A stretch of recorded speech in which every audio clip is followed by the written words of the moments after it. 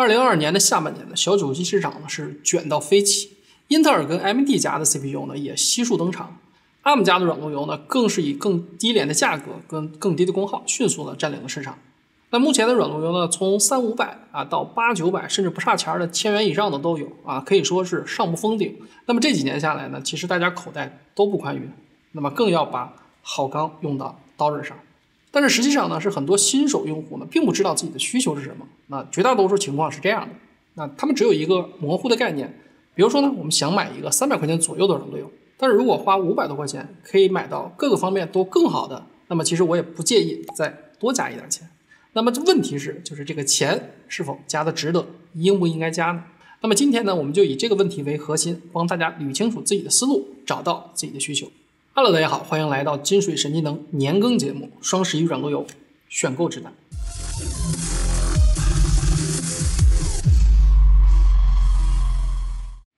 那么我们把目前所有的软路由，根据家里的带宽情况和使用场景来分类，分为入门款、进阶款。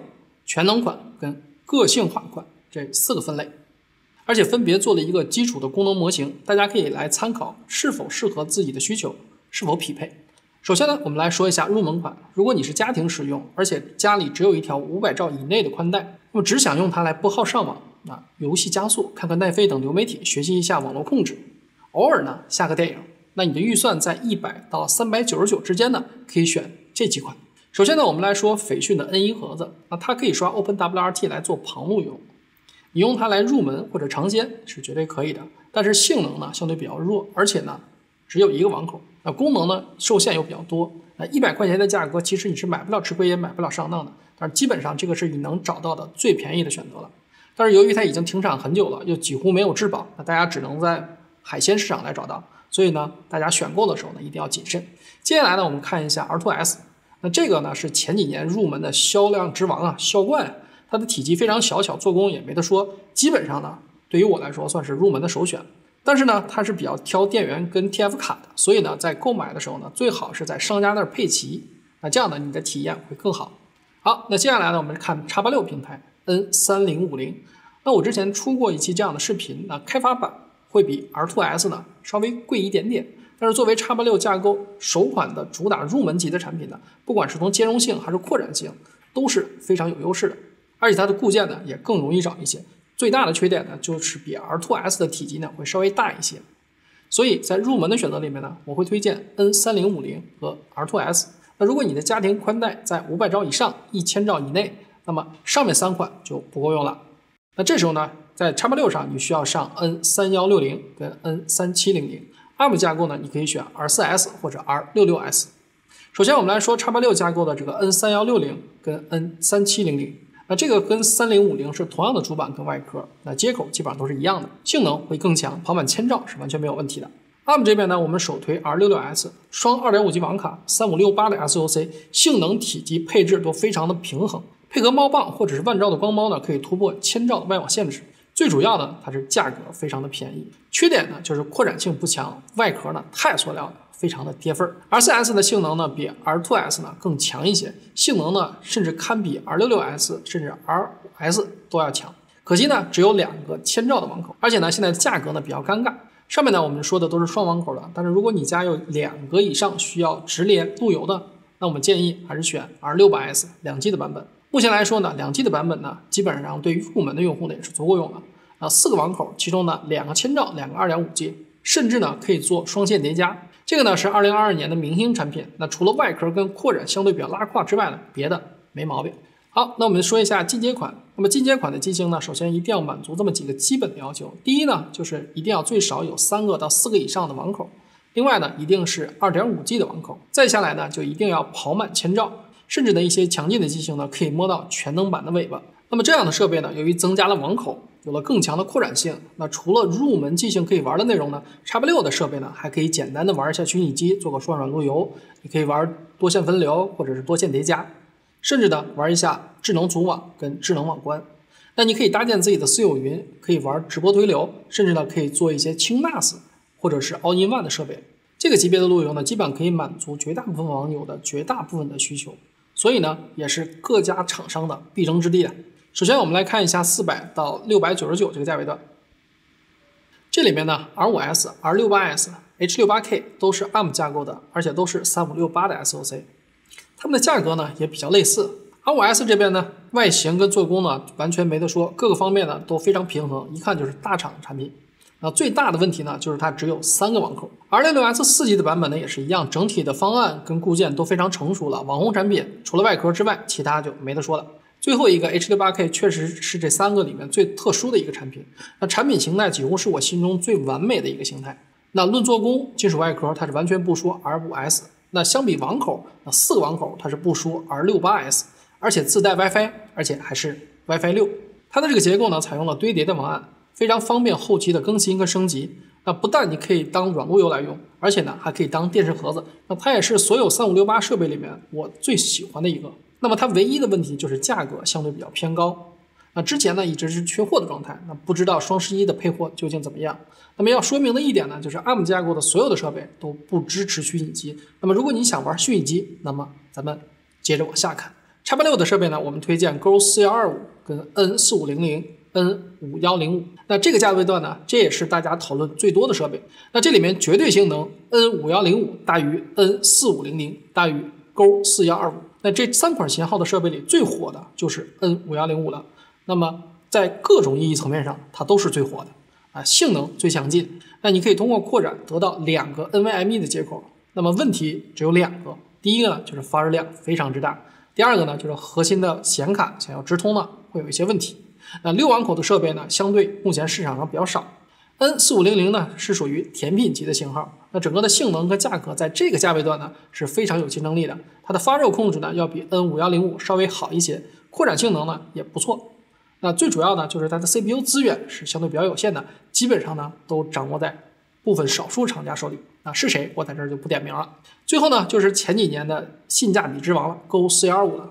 那这也是我在这个价位段最为推荐的产品。它作为进阶设备呢，是非常是够用的。那你想玩的姿势，它都会，两网口、四网口、六网口，它都有。功耗和散热呢，都控制的非常好。外壳方面呢，也有非常多的花样，那可选择性比较多。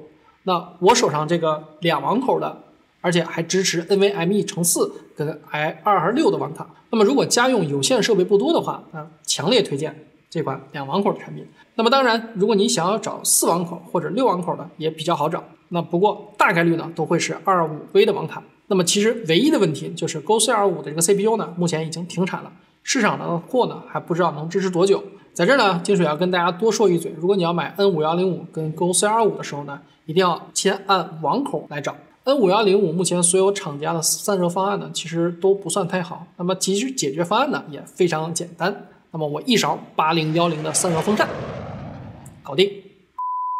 另外一个呢，就是要问商家用的是什么样的网卡，在价格一样的前提下，优先选择英特尔 i 二二六 V 的网卡。那我们经过实际测试，二二六的网卡相比二二五的网卡会更加稳定一些。最后呢，还有一个比较特殊的存在，那就是勾六四幺二跟六四幺三。那这个性能呢，其实是在 N 四五零零跟 N 五幺零五之间的。作为新一代的产品呢，它的功耗更低，散热方案呢也做得更好。那么目前六网口的也比较好找。但是个人觉得啊，现在价格有点偏高，基本上性价比呢就一般般了。接下来呢，我们就说一下全能款。那么全能款呢，基本上都是一千加以上的这个价位，性能呢非常强劲。那日常的家用跟一些小型的办公场景呢，基本都是可以完全应付的。这个价位段的产品呢，基本上没有什么短板。那么我们简单给大家过一下，在这里面呢，不但有英特尔十一代的低功耗酷睿，而且呢有 AMD 低功耗的 Zen 七的系列。那这些产品呢，其实作为软路由，我觉得啊是性能过剩的存在，甚至呢是可以当做家庭办公，甚至是媒体终端来使用的。那么可以使用一个虚拟机解决你全家对电脑的需求。啊，当然除了打三 A 游戏。如果大家感兴趣呢，有机会我会给大家出一个一机多用的教程。想看的小伙伴呢，那就麻烦你用点赞来告诉我。在这些 CPU 里面呢，值得一说的呢，就是英特尔的最新的赛扬金牌。七五零五，那这个 CPU 的性能呢是完全不输十一代的酷睿跟 Zen 七的，而且呢价格会相对便宜不少，功耗跟发热量也控制的不错，而且呢标配二五 V 的二点五 G 网卡。那么在全能款里面，其实最优先推荐的就是七五零五。当然呢还有另外一个特殊的存在，那作为全网第一个万兆光口路由，那就是 R 八六 S。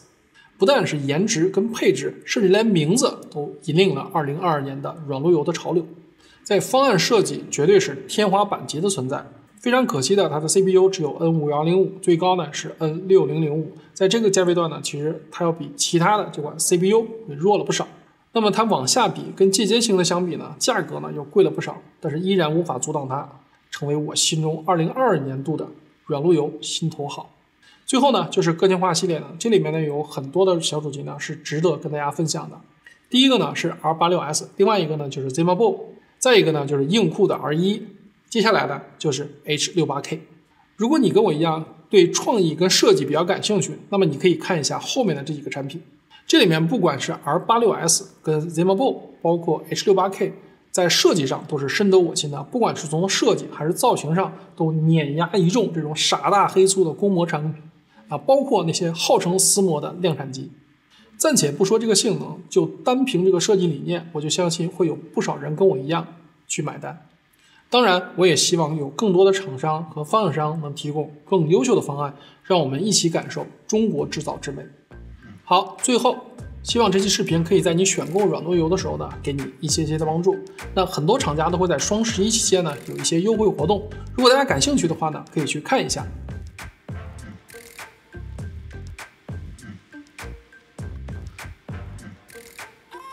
我的海鲜市场小店呢也会上架一些评测过的产品，那价格呢不一定是全网最低，但是绝对会给粉丝有福利。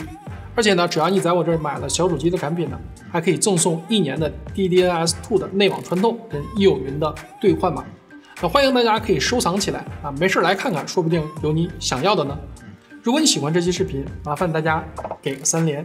YouTube 小伙伴呢，记得点开那个订阅的小铃铛，这样才不会让你错过我任何一期最新影片的推送。